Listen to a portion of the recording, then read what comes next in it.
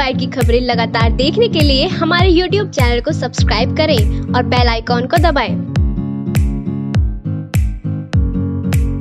इस खबर के प्रायोजक है जैना ज्वेलर्स आबुलेन मेरठ। नमस्कार, मैं जिया और आप देख रहे हैं फ़र्स्ट बाइट डॉट टीवी आइए रुक करते हैं अब तक की कुछ खास खबरों की भारत बनाम न्यूजीलैंड मुकाबले में अहम होगा टॉस। एलिश यादव के कहने पर पहले भी सांपों को लेकर आया राहुल ने किया कबूल।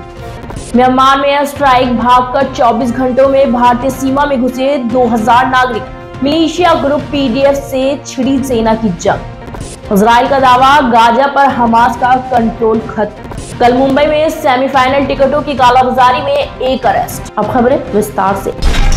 विश्व कप क्रिकेट का पहला सेमीफाइनल भारत और न्यूजीलैंड के बीच 15 नवंबर बुधवार को मुंबई के वानखेड़े स्टेडियम में खेला जाएगा। रोहित शर्मा की कप्तानी में टीम का प्रदर्शन देखते हुए टीम इंडिया का लेकिन मुकाबला इतना आसान भी नहीं होगा। विश्व कप नॉकआउट में भारत के खिलाफ न्यूजीलैंड का रिकॉर्ड शानदार रहा है।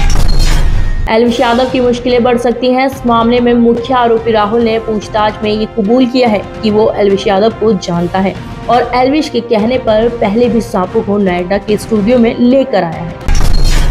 म्यांमार के चीन राज्य में स्ट्राइक और भीषण गोलीबारी के बाद पिछले 24 घंटों में पड़ोसी देश के 2000 से अधिक नागरिकों ने अंतर्राष्ट्रीय सीमा के ज़रिए भारतीय राज्य मिजोरम में प्रवेश किया है। मिजोरम के गृह मंत्रालय के अनुसार वर्तमान में म्यांमार के इकतीस नागरिक राज्य के विभिन्न हिस्सों में रह रहे हैं। उनमें से अधिकांश राहत शिविरों में रहते हैं, जबकि अन्य को उनके स्थानीय रिश्तेदारों ने ठहराया है और कुछ किराए के मकानों में रहते हैं।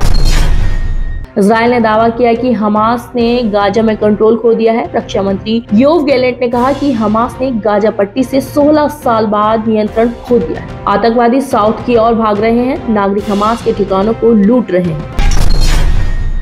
मुंबई में भारत और न्यूजीलैंड के बीच होने वाले सेमीफाइनल मैच में पहले टिकट की कालाबाजारी हो रही है। टिकटों की कालाबाजारी करने के आरोप में एक तीस साल के शख्स को गिरफ़्तार किया गया है। हिरासत में लिया गया व्यक्ति मंडाल का रहने वाला है और अपने घर से ही टिकट बेचने का काम कर रहा था। पच्चीस हज़ार का टिकट पैंतीस से चालीस हज़ार के करीब बेच रहा था। अभी के लिए इतना ही। आप देखते रहिए फ़र्स्ट बाइट डॉट